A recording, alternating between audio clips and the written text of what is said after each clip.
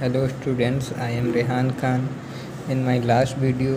I, I had explained you nucleus. In this video, I have to explain you cytoplasm. What is cytoplasm? Let us see. When we look at the temporary mounts of onion peels, onion peels as well as human cheek cells. We can see a large region of each cell enclosed by the cell membrane. When जब हम लोग एक temporary mount onion peel देखेंगे और human cheek cell देखेंगे तो हम लोग को क्या दिखेगा we can see large region of each cell हम लोग देखेंगे जो हर एक रीजन का सेल है वो काहे से इनक्लोज है सेल मेम्ब्रेन से okay okay? And this region take up very little stains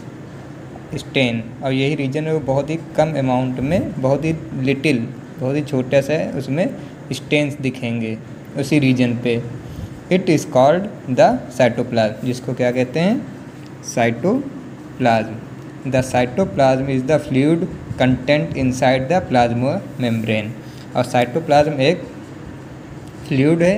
जो कहाँ होता है प्लाज्मा मेम्ब्रेन के अंदर it also contain many specialize cell organelles और इसके पास बहुत से स्पेशल सेल ऑर्गेनलीज होती हैं each of these organelles perform a specific function for the cell और यही जो हर एक ऑर्गेनलीज एक स्पेसिफिक फंक्शन करती हैं सेल के लिए okay cell organelles are enclosed by membranes और सेल ऑर्गेनलीज कहे से इनक्लूड काहे से ढकी हुई होती हैं सेल मेम्ब्रेन से इन प्रोकैरियोट्स लेकिन प्रोकैरियोट में क्या होता है beside the absence of definite nuclear region in prokaryote में क्या होता है न्यूक्लियर रीजन एब्सेंस होता है इसी वजह से cell membrane the membrane bound cell organelles are also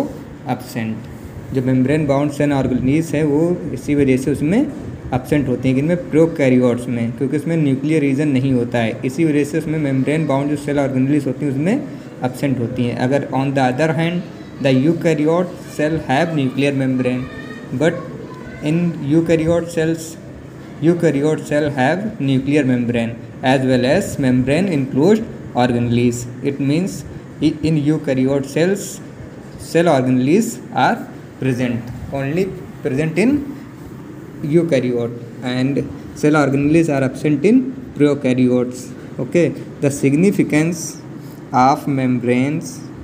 can be illustrated with the example of viruses अगर हम लोग सिग्निफिकेंस देखें मेम्ब्रेन्स का और तो किससे कंपेयर करें with the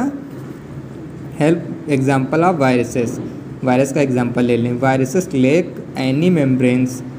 वायरसेस में कोई मेम्ब्रेन नहीं होती है hence do not show characteristic of life इसी वजह से वो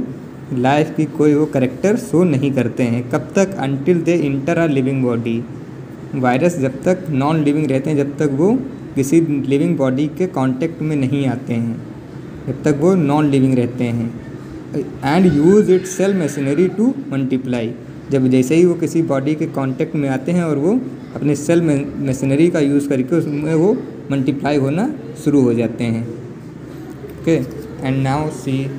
cell organelles what is cell organelles every cell has a membrane around it to keep its own content separate separate from the external environment हर एक cell every cell has हर एक cell के पास एक मेम्ब्रेन होती है अराउंड टू इट उसके आसपास keep its own content separate from the external environment external environment से उसको अपने आप को अलग रखने के लिए large and complex cells including cells large and complex cells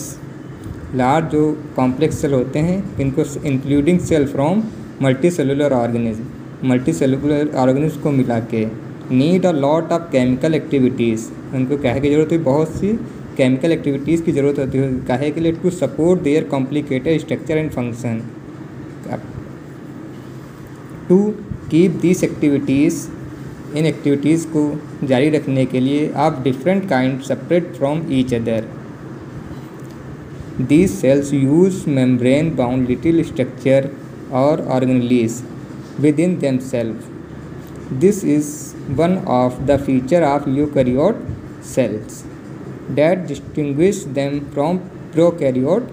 cells some of these organelles are visible only with an electron microscope understand we have talked about the nucleus in a previous section nucleus के बारे में हम पिछले video में बता चुके हैं Some important example of cell organelles which we will discuss now are endoplasmic reticulum. These all are cell organelles. Endoplasmic reticulum, Golgi apparatus, lysosome, mitochondria and plastids. They are important because they carry out very crucial function in cells. Okay, now see first फेस्ट्रल organelle organelle reticulum the endoplasmic reticulum E R is a large network of membrane bound tube and sheets endoplasmic reticulum का एक large network membrane bound tubes tubes का एक ऐसे एक नेटवर्क का structure होता है वो सेल ऑर्गनलीस होती हैं और मेम्ब्रेन बाउंड होती हैं ट्यूब्स की तरह एंड सीड्स ये सीड्स होती हैं it it look like a long tubules और round long bags vesicles bag या वेसिकल्स इस तरीके से लॉन्ग और एक वेसिकल्स की तरह होती हैं the endo endoplasmic reticulum membrane is similar in structure to the plasma membrane और जो इसकी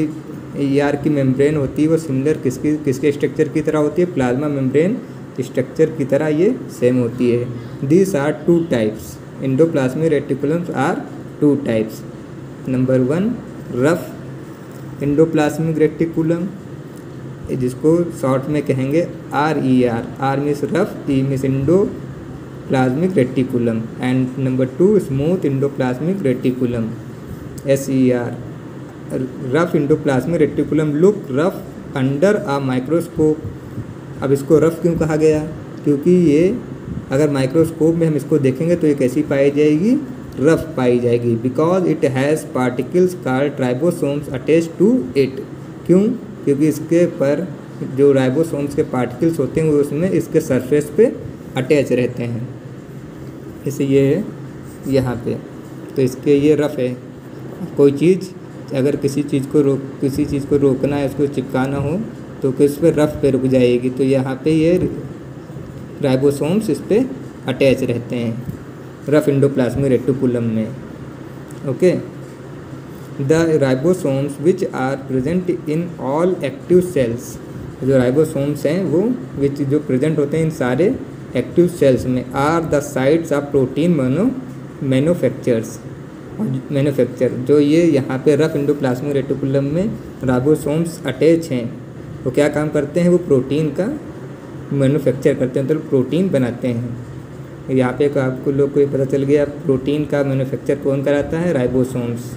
okay the manufactured protein are then sent to various place in the cells depending on need अब यहाँ पे आर ई आर में जो protein बना है वो कहाँ भेजा जाएगा वेरियस प्लेस बहुत सी जगहों सेल के बहुत सी जगहों में जहाँ पे उस प्रोटीन की ज़रूरत होगी depending on need okay using the E R और किसका यूज़ करके प्लाज्मिक रेटिकुलम का यूज़ करके राइबोसोम्स ने जो प्रोटीन बनाई है सेल में जहाँ पे इसको ज़रूरत होगी सेल को वो पहुँचाएगी वहाँ पे ठीक है द स्मूथ इंडोप्लाज्मिक रेटिकुलम अब क्या करेगा रफ में रफ में तो राइबोसोम्स अटैच थे इसने तो राइबोसोम्स वहाँ पे अटैच थे उन्होंने प्रोटीन का सिंथेसाइज किया the S E R helps in the site manufacture of fat molecules अब ये कहेगा मैन्युफैक्चर करेंगे जो फैट मॉलिक्यूल्स होते हैं और lipids important for cell function जो सेल फंक्शन के लिए इंपॉर्टेंट हैं fat molecules and lipids some of this protein and lipids help in building of the cell membrane और उसमें से कुछ प्रोटीन और लिपिड्स ब्रेड सेल का हेल्प काहे में करते हैं सेल को सेल मेम्ब्रेन को बनाने के लिए and this process is known as membrane biogenesis okay some other proteins and lipids function as enzymes अब कुछ प्रोटीन और लिपिड्स फंक्शन करते हैं कैसे इंजाइम के तौर पर एंड हारमोन्स एंड हारमोन्स के type although the E R varies greatly in appearance in different cells it always form a network system और ये कैसे हमेशा पाए जाते हैं नेटवर्क सिस्टम में ये पाए जाते हैं